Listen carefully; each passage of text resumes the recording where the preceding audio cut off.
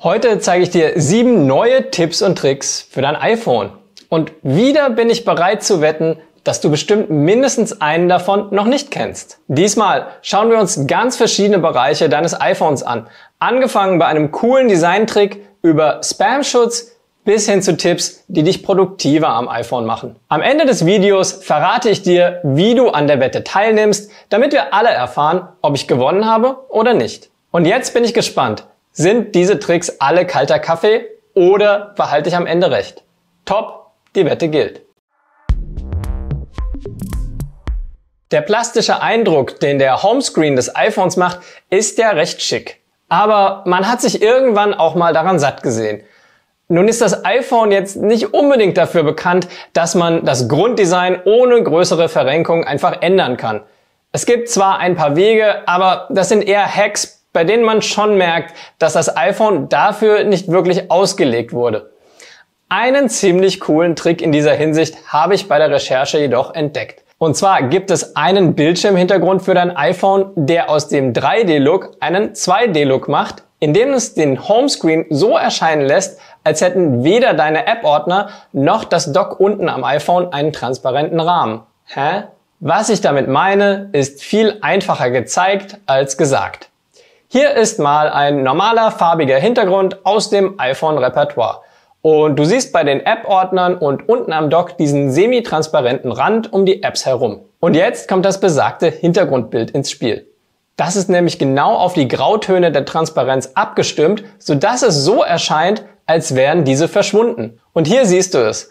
Obwohl hier wirklich nur das Hintergrundbild gewechselt wurde, hat das iPhone plötzlich eine ganz andere Anmutung und die Apps liegen flach und zweidimensional auf dem Bildschirm. Und du aktivierst es ganz einfach so. Nachdem du das Bild auf deinem iPhone gespeichert hast, gehst du in die Einstellungen, dann Hintergrundbild, tippst auf neuen Hintergrund wählen und wählst dann das Foto aus. Wende das Bild dann auf den Home-Bildschirm an und stelle sicher, dass der perspektivische Zoom ausgeschaltet ist. Und fertig. Ich finde, das sieht schon recht cool aus. Sowohl für hell als auch für dunkel. Findest du nicht auch? Okay, ich vermute, du weißt das schon. Für mich war es tatsächlich was Neues.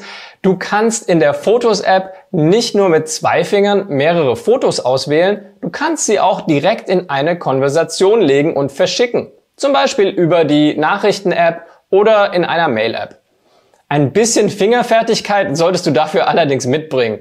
Ich versuche mich mal an dieser kleinen Fotoserie eines Kunden von mir. Und zwar möchte ich gerne vier dieser Fotos auswählen, also halte ich mit dem Finger eines davon gedrückt und ziehe es etwas nach unten. Jetzt kann ich mit einem weiteren Finger die anderen drei Fotos auswählen.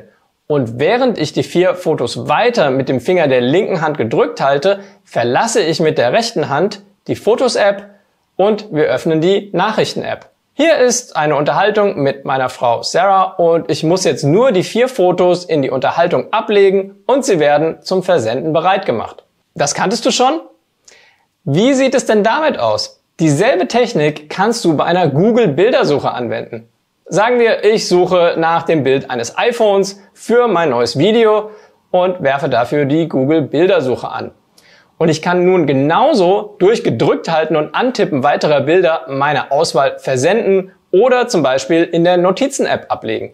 Gar nicht verkehrt. Wie beim letzten Mal gibt's auch einen Siri-Tipp von mir. Wenn du einen Link, ein Foto oder auch einen Podcast mit jemandem teilen möchtest, dann geht das mit Siri wahrscheinlich sogar am schnellsten. Nehmen wir mal meine Website, weil ich die gerade etwas überarbeitet habe.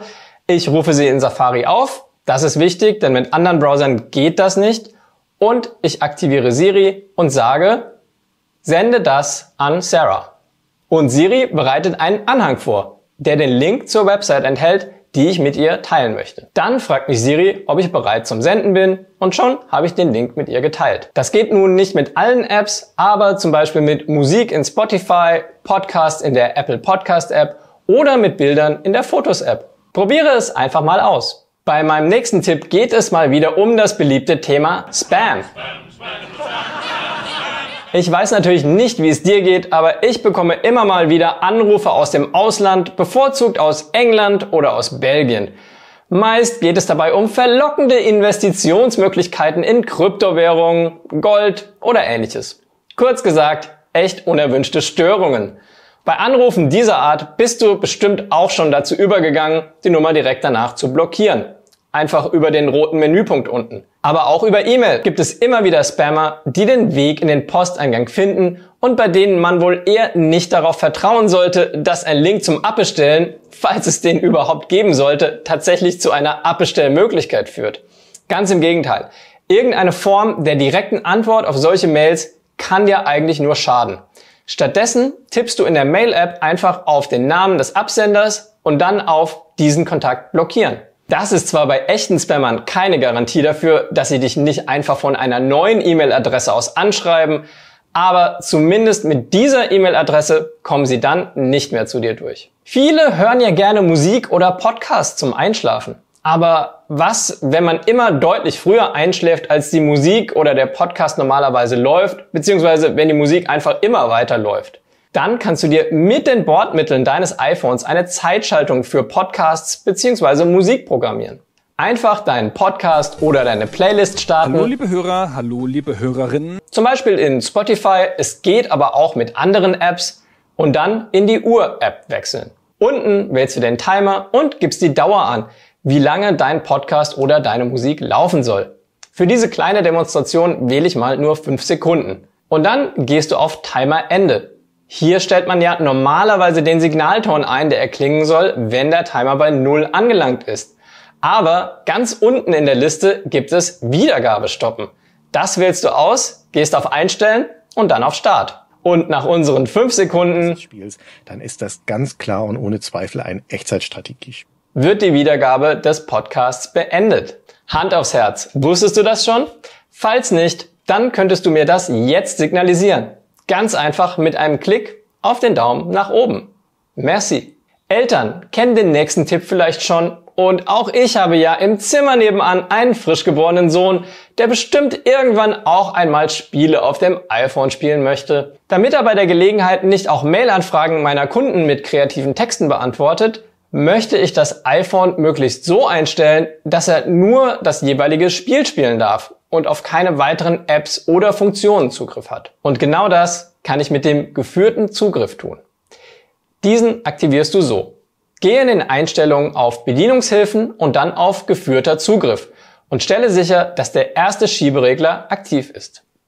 Darunter kannst du entweder einen Zahlencode zum Entsperren des Zugriffs wählen oder aber dein Face ID nutzen. Wechsle dann in die App, die dein Gastnutzer bedienen dürfen soll. Wir nehmen mal ganz klassisch Candy Crush als Beispiel. Ich starte das Spiel und tippe dann einfach dreimal auf die Seitentaste. In den Optionen können wir noch genauer einstellen, welche Tasten am iPhone wir für unseren kleinen Gast freischalten. Vielleicht ja noch den Lautstärkeregler. Und, besonders schön, ich kann ein Zeitlimit festlegen für eine maximale Spieldauer. Dann tippen wir fertig und dann starten. Und nun gibt es keine Möglichkeit mehr, zum Homescreen oder zu einer anderen App zu wechseln.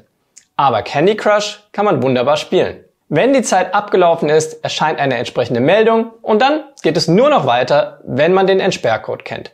Dreimal die Seitentaste drücken, Code eingeben und wir können den geführten Modus wieder beenden. Wie du den sichtbaren Bildschirm mit deinem iPhone abfotografierst, also auf Neudeutsch screenshottest, weißt du wahrscheinlich schon.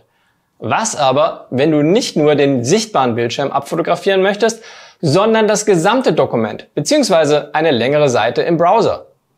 Auch das ist möglich. Über die Screenshot-Tastenkombination rechte Seitentaste und Lautstärke hoch zusammen drücken, machen wir ein Bildschirmfoto und tippen dann direkt auf das eingeblendete Bild. Hier wählen wir oben ganz einfach ganze Seite und fertig. Dann PDF in Dateien sichern und voilà, unter der App Dateien findet sich nun das Bildschirmfoto der gesamten Seite. Super praktisch. Und nun Butter bei die Fische. Wie viele dieser sieben Tipps und Tricks kanntest du noch nicht? Schreib mir einfach die Zahl, also 0 bis 7, in die Kommentare. Gerne auch, welche der Tipps du noch nicht kanntest. Hast du eine Zahl größer als 0 eingetragen? Dann freue ich mich ganz besonders über einen Daumen hoch für dieses Video. Auch als Signal für andere, dass sie hier was Neues über ihr iPhone lernen können. Weiter geht es mit dem Video neben mir. Dort erfährst du noch mehr über dein iPhone, also klick jetzt einfach drauf und bleib dran.